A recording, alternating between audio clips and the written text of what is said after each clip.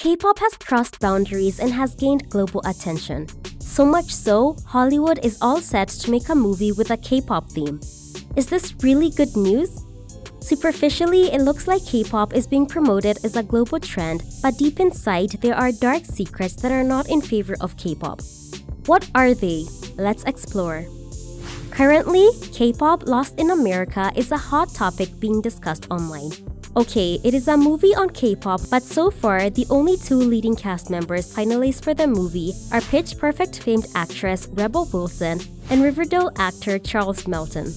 Yes, both are Hollywood actors and have nothing to do with K-pop. Let's get into more details about the movie. K-pop Lost in America is being produced by Lynda Obst and CJ Entertainment's Miky Lee. The most important part of the movie, the story is written by Jeff Kaplan and Ian Springer. The current draft was prepared by Karen McCullah and Kirsten Smith. Searching for Korean names? Here it is. The film is directed by South Korean filmmaker Young Jae Kyun of Miracle on First Street, Haeundae, Quick, and Ode to My Father's Fame. So the K-pop theme is written by Westerners and the movie is starred by Westerners again. What is the role of K-pop here? Let's have a look at the main plot of K-pop Lost in America. The story revolves around a K-pop group that finds themselves mistakenly stranded in Waco, Texas, instead of landing in New York just days before their American debut at Madison Square Garden. They are left with no phones, no money, and no transportation. The group is then forced to overcome their differences and brave many obstacles to make it to New York City. Along the way, they learn to love Texas and Texas learns to love them back. It looks like the movie is about how K-pop stars start loving Texas. Earlier, it was also said that a mentor will change the life of these stars and Rebel Wilson is likely to take up this role. So it's most probably like K-pop in Hollywood seen through Rebel Wilson's eyes. In an earlier interview with Variety, director of the film, Young Jae Kyun had said that fans should expect K-pop stars as well as icons in the pop industry. Currently, it is said that Cha Eun-woo of Astro is in talks to star in the movie. Soompi also stated that Cha Eun-woo was offered the leading role and that he even cleared part of his schedule for the second half of 2022 in order to prepare for filming, but nothing has been confirmed yet. With limited information available on K-pop Lost in America, Asians have expressed fear of chances of stereotyping Korean pop. Stereotyping in Hollywood. Isn't it strange that Rebel Wilson is the star of a movie on K-pop idols? According to Geena Davis Institute on Gender in Media, there is ample evidence for pop culture carving harmful perceptions of Asians of all racial groups. American sitcom Kim's Convenience is an example. The cast members themselves were objected to denigrating storylines and lack of diversity in the show. Let's look at some data. According to the SWOTO report, surveying 329 Asian Americans in the entertainment industry revealed surprising results. The survey revealed that almost 93% agree that Asian and Pacific Islanders representation on screen is not adequate. More than 75% say that they felt tokenized, and 81% say that they had experienced racism at work. Findings further stated that South Asian women were portrayed as exotic seductresses, and East Asian women were shown as innocent girls who were sexually available. And there are Dragon Ladies figures appearing every now and then in movies depicted as women who use their femininity to deceive men. In the case of South Asian men, most of them are stereotyped as nerds, geeks working in the IT sector, or just greedy merchants or shop owners. Yellowface Recently, there was rage over Jimmy Fallon's 20-year-old blackface act, meaning using black clothes and makeup to represent an African-American character. Fallon apologized to the audience for hurting the feelings of a community. Now, have you heard of Yellowface? Yes, there is a form of theatrical makeup called yellowface that is used by European American performers to represent an East Asian character. This is rampantly used in both films and theater. This is an important piece of evidence because in Hollywood movies, several times white-skinned Americans have used yellowface to represent an Asian character. Some of the examples for yellowface are in the 1967 film You Only Live Twice, James Bond, played by Sean Connery, disguised himself as a Japanese bridegroom in order to elude Spectre assassins.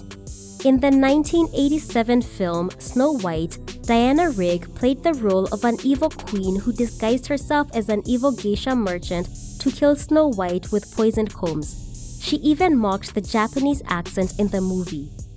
In the 2008 movie Be Kind Rewind, actor Jack Black, who played the character of Jerry, taped his eyes back to pretend to be Jackie Chan. In the 2011 movie Sherlock Holmes A Game of Shadows, Robert Downey Jr. donned yellow face to disguise himself as a Chinese man. In the 2014 film Magic in the Moonlight, Colin Firth portrayed an Englishman who donned yellow face in order to pass as a Chinese illusionist. In recent years, there is a trend of adopting Asian novels in Hollywood movies. Though it looks like a good move, changes made in adaptation are not hopeful at all. The 2017 film Ghost in the Shell is an excellent example.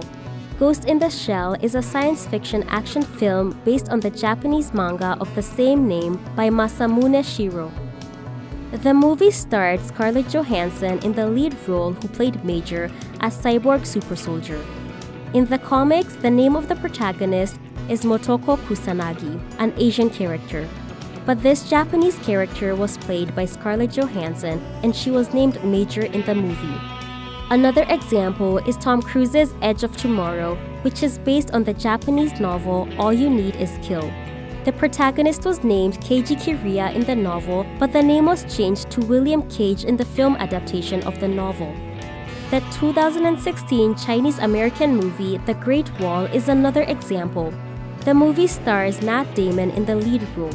He plays a European mercenary warrior who is imprisoned by Imperial Chinese forces within the Great Wall of China. The story develops and Matt Damon joins forces with the Chinese to help them combat an alien threat. Yes, Matt Damon saves the people of China. This shows that there are three big problems in Hollywood adaptations of Asian plots. The first one is plot. That is, even if it is an adaptation of an Asian novel, most of the time it is projected as if Asian countries need a hero to save them from troubles, and 99% of the time, the hero, be it male or female, is from a Western country. Protagonist Either the protagonist is a person from Western countries or a hero or heroine from Western countries is transformed to look like a person of Asian origin. But Hollywood films do not cast people of Asian origin as the leading stars of the movie. Characters Many Asians play various roles in Hollywood movies, but most of the people are limited to play roles that provide comic relief or a supporting role that enhances the significance of lead stars. In this backdrop, it is difficult to tell if the Rebel Wilson starred movie will reach the hearts of K-pop lovers or will it be lost in America. The movie K-pop Lost in America is supposed to start filming in fall, that is from September onwards. But so far, only Rebel Wilson and Charles Melton are confirmed as the lead star cast. Comments online read, I'm really scared the plot of this movie is going to be this lost K-pop boy group and a white girl who teaches Texas how to love them. Another comment read, Rebel Wilson has no business making this. One of the Twitterati even said, K-pop Lost in America is literally the stupidest movie title I ever heard. I'm so sorry for the Korean actors that are getting their Hollywood debut this way.